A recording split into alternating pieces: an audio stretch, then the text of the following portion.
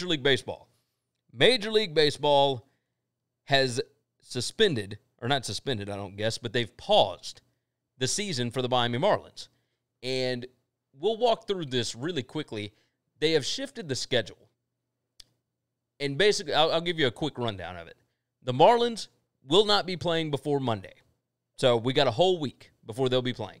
And more than likely, when they come back, it's going to be secondary guys, minor leaguers that are called up, et cetera. They've got a 30 man roster they can pull from. They've already had 15 players test positive and two managers. So they're going to be pulling up a lot of people. They're going to be calling all kinds of people to come in here. Um, but the way it works, Marlins not playing before Monday. The Phillies don't get to play until Friday. They're the ones that just played the Marlins over the weekend. The Yankees at the Orioles is happening Wednesday and Thursday. So the Orioles, who were supposed to play in Miami yesterday, are now going to be playing the Yankees. The Orioles, uh, sorry, the Yankees, who were supposed to play the Phillies, they are going to be playing in Baltimore. The Nationals are off this weekend because the Marlins were supposed to be their opponent this coming weekend. So you have affected a ton of teams there, right? The schedule has to be shifted and whatnot. Major League Baseball, let's talk about this before we discuss the implications of this across the sporting landscape. Ben jumps in and said, Poor Marlins, nothing good has happened for them since they changed their name. Uh, yeah, I guess you're right. Uh, they were still the Florida Marlins last time they won a World Series. Damien said, White Sox players got COVID right now. Uh, I don't think that's right, but maybe I missed it. Uh, but I will do a search right quick just to see. But yeah, um, of course I don't. I, is there? Yeah, there's a game going on. They're down one to. They're down four to one against the Indians. That's what he's talking about. Ben said not to say they didn't deserve most of it. Yeah, the the Marlins situation. They they've won two World Series. They they've had some some issues because it, it's a small market. It's not a small market team, but it's a small ownership group that basically, as soon as they win a World Series, they tear it back down and they try to build it back up again. So for them, it's kind of a game, and I understand that.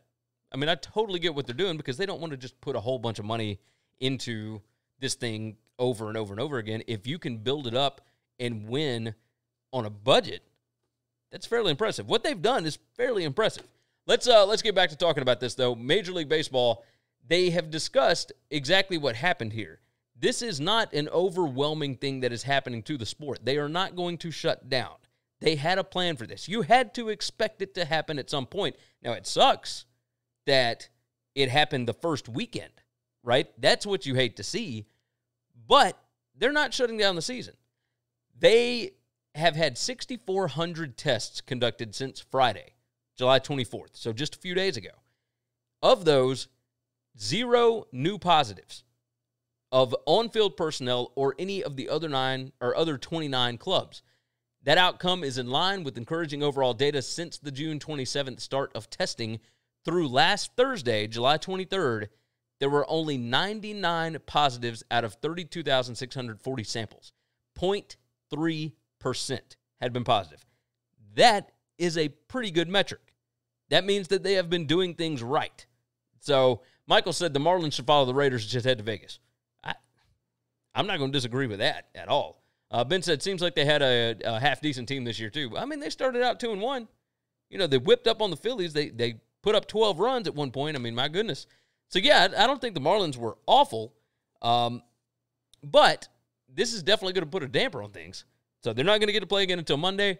Now, the other side of this, other than the fact that you know, aside from the Marlins, nobody else has tested positive. Aside from that, you got to look at this and think how awesome is it that they have the flexibility to change the schedule around just like that. I mean, just as quick as you can do it.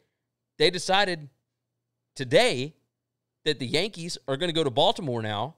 So the Yankees are not playing the Phillies, and Baltimore is not playing the um, uh, the Marlins. So from that, you just toss up the Yankees and the Orioles, and then you'll change up the schedule later on in the season and go from there. Michael said, "Quick question: If they're pulling guys up from their farm system, why can't they just play games as scheduled?" Uh, there's a, from what I understand, it takes a little bit of time to get the guys in because remember, the farm system is not playing right now. So you have to give these guys time to warm up, time to uh, get their bodies a little bit acclimated. Now, they've been working out, etc., but they're not in a position to be able to fly in, especially with travel restrictions and whatever. It, they, they can't necessarily fly in immediately. So it takes a little bit of time to get that thing rolling, but you're not going to see, like, it's, it's a mandatory 14 day quarantine once you test positive. So these guys, now the other question is this what in the world is going on with the Marlins being able to just have a, a team meeting through a group chat and decide that they're going to play even though they had four positives to start with? I mean, in what world is that okay? Why would they let those guys play? Or why would they let anybody play for that matter? I mean, it just seemed incredibly irresponsible to me. Damien said six White Sox players got COVID. It was reported today. I did not see that. I was reading from Major League Baseball's press release from like an hour and a half ago. Um, and that's a little strange that. Da, da, da, let's see. Renteria returns to manage White Sox after COVID 19 scare. Let's see. Nope. Nope. Nope. Test negative. Test negative. White Sox announced two players test positive for COVID 19, and that was on Sunday. Okay, so this was uh, this was after Friday that the MLB had had done their numbers. So the White Sox have two players, and that's it. Either way, baseball will continue. Sports will go on. Life will go on. Uh, ben said, by the way, bad move betting against the A's yesterday. Yeah, I know. I know. A's against Rockies today. Let's go Rockies. Yeah, there's a lot going on here. I've uh, I've got money on the Twins today, so we'll we'll see what they end up doing. I mean, who knows? Who knows? But uh, but yes, with this whole thing, college football and the NFL need to pay attention to how easy the flexibility is in their scheduling. Um, and Damien said, "My bad. I thought it was six. Hey, it's all good, man. These numbers are crazy. There's just numbers everywhere right now. Uh, for those that are not analytical or that don't like analytics, Chris, uh, this is a bad time. this is a bad time because everybody's throwing numbers around. Nobody knows what any of them means.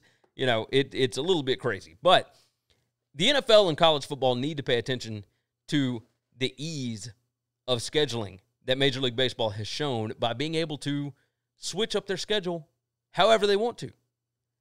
That's what you're going to have to do in college football. That's why conference only is so important in college football. You don't have to mess with another conference. You don't have to mess with anything.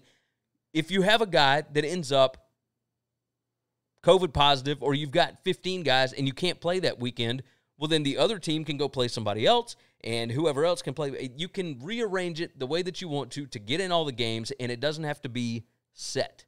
That's the best part about it. So, same thing with the NFL. The NFL can do this very easily. And if college football goes conference only, they can do it very easily. That's the only way that I see us being able to get in a full season is if we are not stuck to certain times on the calendar, right? Uh, Michael said, since the Marlins caused this by being irresponsible and not following rules, shouldn't they just have to forfeit? Why punish other teams with makeup games? Uh, Damien said, I wonder if those Marlin players were with Lou getting food at the strip club in Atlanta. I mean, it's it's totally possible. Nuclear Skull said phase two lockdown coming September 2020 and planned as far back as last year. I have the WHO document stating as much. It's called Method of the Revelation. Ah, I mean, we'll see. You uh, you want to toss a link up here? We'll uh, I'm sure some some of the guys will click on it and whatnot, and I'll I'll go check it out later.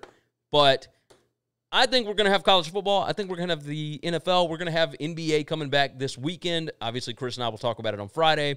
Um, we got, or really on Thursday. We got games on Thursday night. I think we are going to have all of this stuff come through and and we'll survive.